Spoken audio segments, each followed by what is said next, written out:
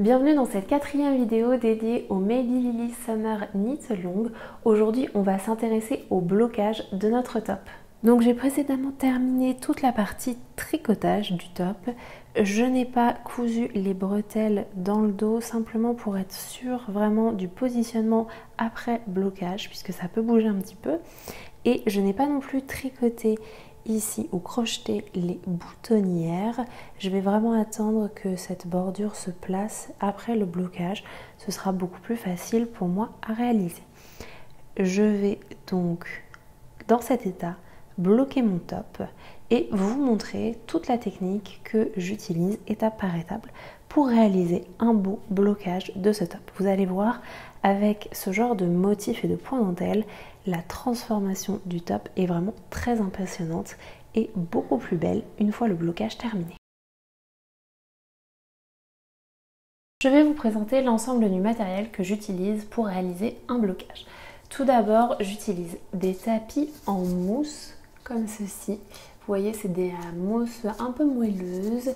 Les miens ont un quadrillage dessus, ce qui est assez pratique pour savoir où est-ce qu'on en est et qui permet de calculer un petit peu les centimètres que l'on a. Ça, ça va me permettre en fait de pouvoir enfoncer des petites épingles à l'intérieur ou des peignes en fonction de ce que vous aimez utiliser. Hein.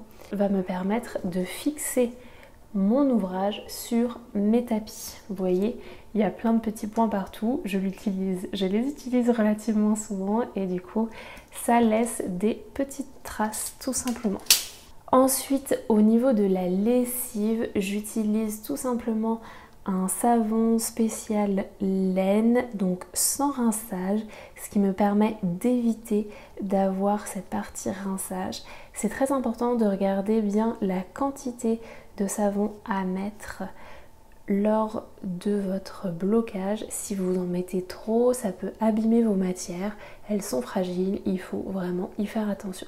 Donc j'utilise pour ça le Calan, mais vous avez d'autres marques qui sont disponibles. Ensuite, je vais utiliser un petit euh, filet pour mettre mon ouvrage. Je vais vous montrer en fait une fois mon ouvrage trempé, je vais le passer en machine pour l'essorer et du coup j'aime bien euh, mettre mes ouvrages dans des petits filets ou des thés d'oreiller en fonction de ce que vous avez à disposition pour les protéger. Et ensuite petit matériel, donc j'ai toujours besoin d'un mètre et d'un petit bloc-notes pour pouvoir noter les mesures de mon ouvrage.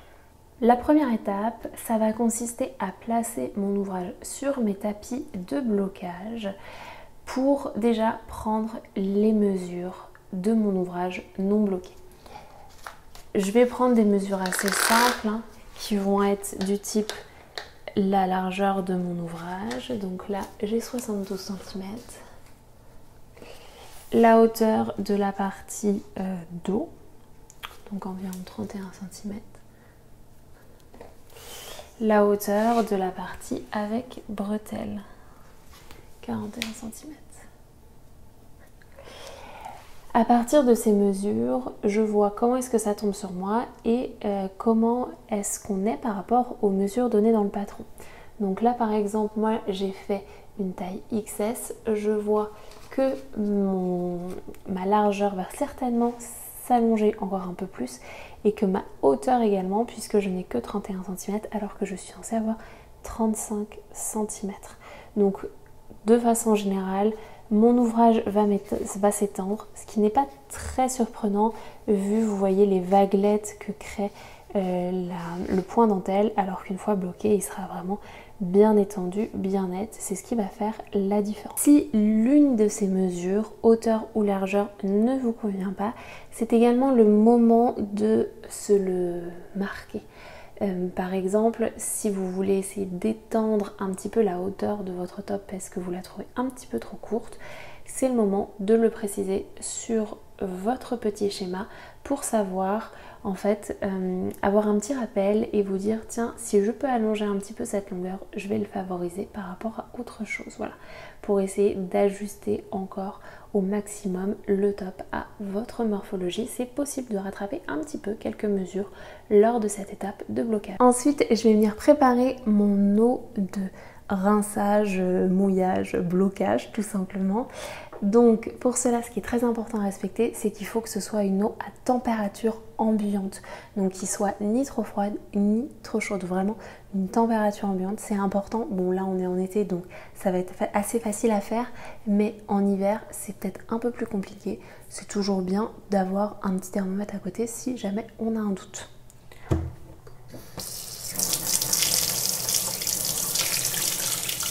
Une fois que j'ai lancé ça, je vais rajouter mon canon, donc en gros environ une cuillère à café de produit pour mon bain de blocage. Donc là, mon eau, elle est à 24 degrés. Honnêtement, on est pas mal. Je vais pas rajouter d'eau froide et je vais directement du coup aller plonger mon top à l'intérieur. Je trempe mon top assez simplement. Vous voyez, mon, mon motif, il commence déjà vraiment à se lisser. Et une fois que je suis sûre que tout le top est bien humide, je vais simplement le laisser tremper pendant 15 minutes. Donc une fois que mes 15 minutes sont passées, je vais simplement récupérer mon ouvrage. Je les sors vraiment très peu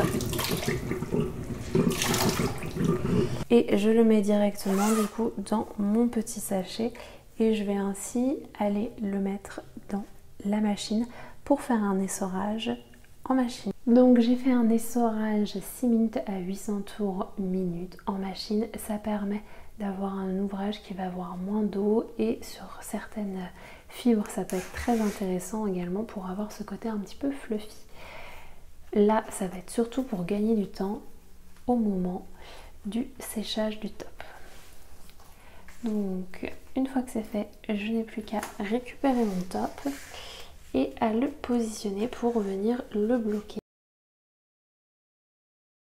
Donc là je vais vraiment sortir toutes les aiguilles que j'ai à ma disposition pour bien venir le bloquer et déployer toute la dentelle. C'est vraiment très important comme étape.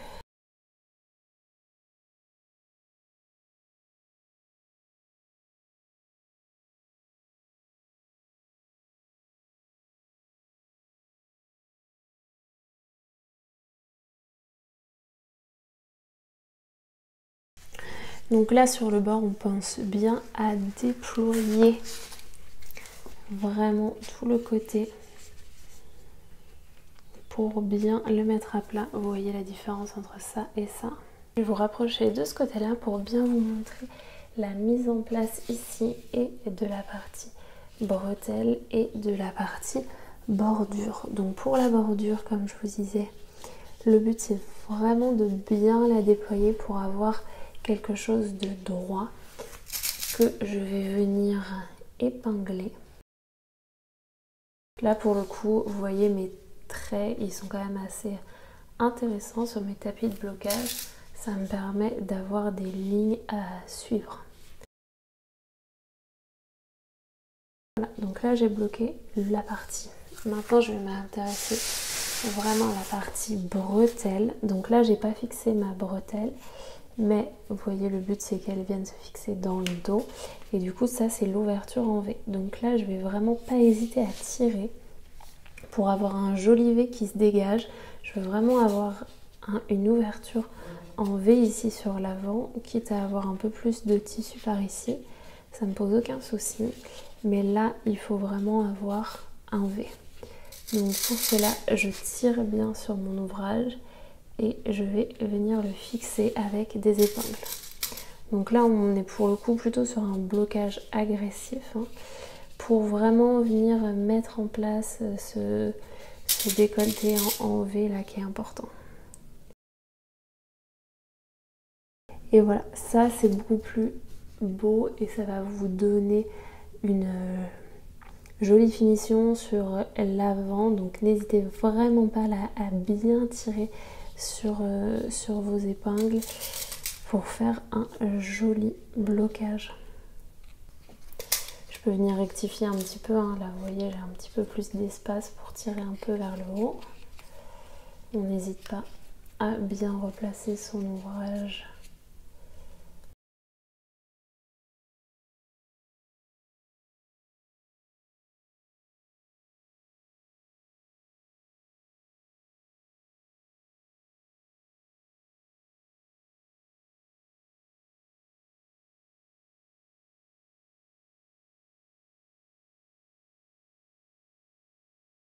Et voilà le résultat une fois que le blocage il est bien en place. Hein. Donc j'ai vraiment renforcé tous les côtés avec des petites épingles. Je suis pas allée de main morte. N'hésitez pas à faire de même pour avoir vraiment ce motif qui se déplie là et qui est très joli sur ce point dentelle.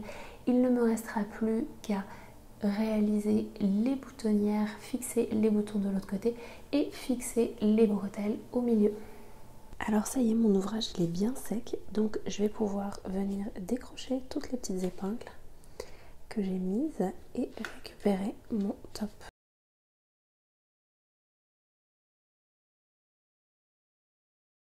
Donc une fois que le blocage est terminé, il ne me reste plus qu'à coudre les bretelles dans le dos et à crocheter les boutonnières. On va commencer par les boutonnières. Euh, pour vous montrer sur mon top qui est déjà réalisé, ce sont des boutonnières que l'on fait au crochet sous forme de brides dans lequel on va pouvoir insérer notre bouton. Donc pour la version courte, j'ai crocheté 6 boutonnières. Là, je suis sur la version longue, donc je vais garder ce même espacement entre 4 et 5 cm en fonction bah, de la longueur euh, du buste que vous avez obtenu. Et du coup, pour la version longue, je vais avoir 8 boutons et boutonnières à réaliser. Le tutoriel qui explique comment crocheter les boutonnières. Je vous ai déjà fait une vidéo spécifique et du coup je vais juste vous remettre le lien vers cette vidéo pour vraiment vous montrer comment euh, réaliser ces boutonnières au crochet. Vous êtes accompagné étape par étape et c'est vraiment simple, complètement accessible aux débutants en crochet. Pour les boutons, je vous rappelle, ici je vous montre bien le détail. J'utilise des boutons qui n'ont pas de queue euh, je trouve que ils tiennent mieux en fait dans ce système de boutonnière et donc du coup je vous conseille vraiment d'utiliser ce genre de boutons plutôt que des boutons avec une petite queue qui risqueront de moins bien tenir à l'intérieur de vos boutonnières. Alors pour la dernière étape, il ne me reste plus qu'à fixer les bretelles dans le dos. Donc pour l'instant, je n'ai pas encore mes boutons, mais du coup j'ai laissé mes petites épingles à l'avant. Ça fait office 2 et surtout j'ai mis le soutien-gorge avec lequel je veux porter mon top. Et le but ça va être de positionner dans le dos vraiment les bretelles. Donc là je vois que euh, j'ai un décalage je dirais d'un petit centimètre. Donc je vais venir replacer ma bretelle plus vers l'intérieur et ici un tout petit peu afin qu'elle soit mieux positionnée sur le dessus.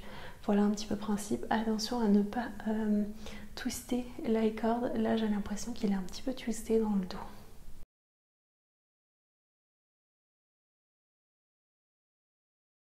Donc maintenant qu'on a positionné les bretelles sur le dos, je vais vous montrer comment faire cette jolie couture qui est complètement euh, invisible et qui permet du coup quand on porte le top, vous voyez, de ne pas déformer la corde et d'avoir une jolie finition. Donc pour réaliser cette couture, je me suis placée sur le avec l'envers face à moi et les bretelles dans ce sens-là. Donc faites bien attention ici de ne pas avoir de petite torsion qui intervient autour de, sur la corde. Et je vais commencer par du coup bien repérer le positionnement que je souhaite sur mon iCord. Donc là, c'est le centre de l'iCord que j'ai repéré avec une petite aiguille. Je vais pouvoir du coup lâcher mon iCord. Pour le blocage, j'ai rabattu mes mailles, donc je vais commencer par enlever le rabattage.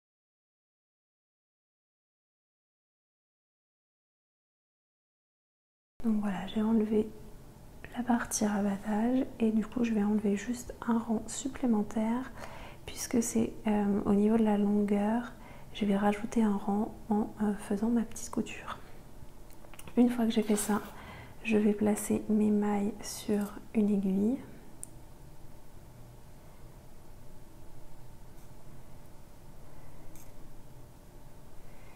Voilà, comme ça elles sont bien sécurisées.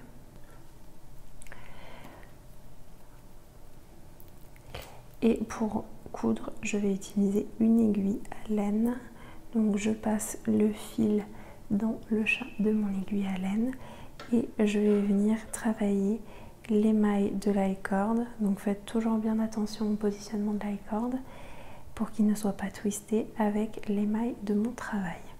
Donc je vais faire un grafting sauf qu'il va être un petit peu inversé puisque je dois faire des mailles en vert pour coudre mon i-cord avec ces mailles-ci et euh, pas un grafting avec des mailles en droit. Donc c'est un petit peu différent par rapport à d'habitude. Comme j'ai 5 mailles sur mon aiguille, je vais commencer un petit peu décalé et au fur et à mesure, je vais venir me rapprocher du centre. Donc pour faire un grafting à l'envers, je vais tout simplement commencer par passer mon fil à l'intérieur de la première maille sur mon aiguille comme pour la tricoter à l'endroit.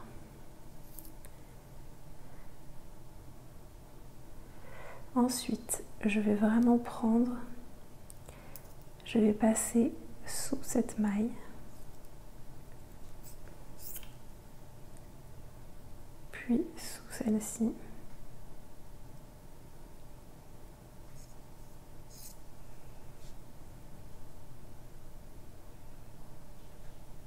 Ainsi. Et je vais ressortir de ma maille, donc comme pour aller à l'envers, donc derrière en avant. Ensuite, je vais rentrer à l'intérieur de la maille suivante comme pour aller à l'endroit.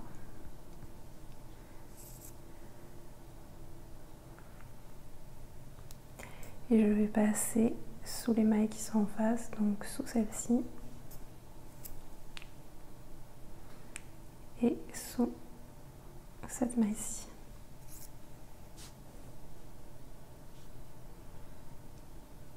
Puis je vais passer à l'intérieur de ma maille sur mon aiguille, donc derrière en avant, comme pour la tricoter à l'envers.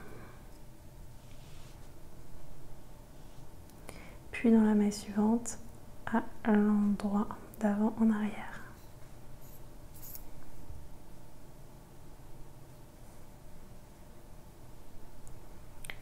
je me décale encore une maille, donc je passe à l'intérieur de la même ici.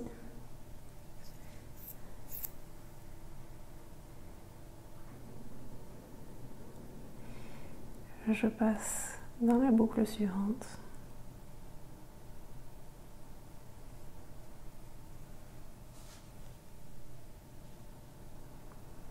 Je passe derrière en avant dans ma maille sur mon aiguille. Et je continue d'avant en arrière.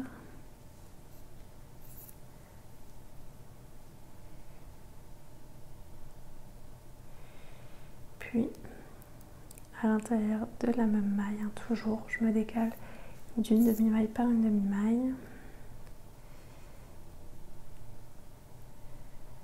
Je fais le tour de cette maille-ci. Je vais enlever juste mon repère pour éviter de me blesser. Je passe à l'intérieur de la maille de la corde d'arrière en avant.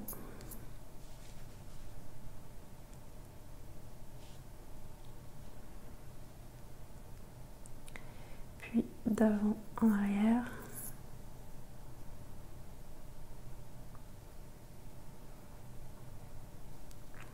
Et je sécurise ma dernière maille.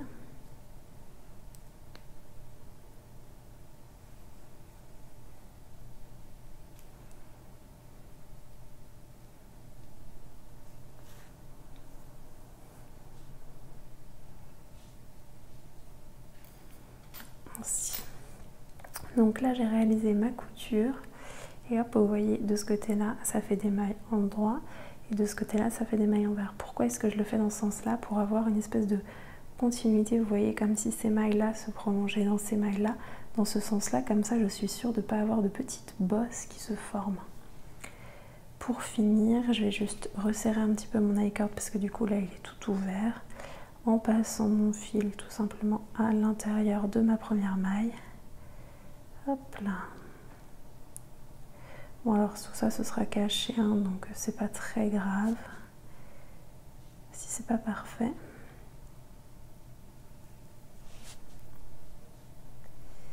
Et voilà, comme ça, mon iCord il est refermé et il ne me reste plus du coup qu'à rentrer mon fil à l'intérieur de mon ouvrage. Hop, j'ai passé ici. Et je vais bloquer en dessous entre les deux.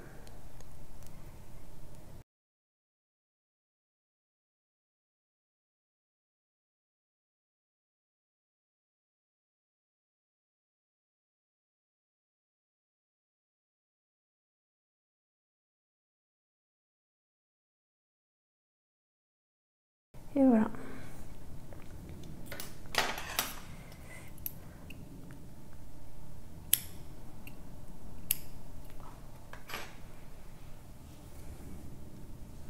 Donc là, j'ai une jolie accroche avec cette finition complètement invisible. Et si je retourne l'ouvrage pour vous le montrer sur l'endroit,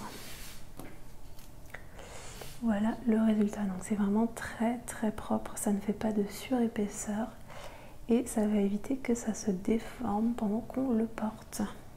Ce knit-along est maintenant terminé. J'espère que cette expérience vous a plu. N'hésitez pas à me le dire en commentaire si c'est le cas et si vous aimeriez avoir d'autres knit-alongs sur d'autres patrons et que vous avez déjà des idées pour les patrons en question. Moi, je vous donne rendez-vous sur Instagram et sur Ravelry pour découvrir des photos et des vidéos de cet ouvrage terminé et porté et également pour partager avec moi toutes vos jolies créations. J'ai vraiment hâte de découvrir vos ouvrages et tout ce que vous avez pu faire grâce à ces vidéos. Je vous dis à très vite pour d'autres aventures.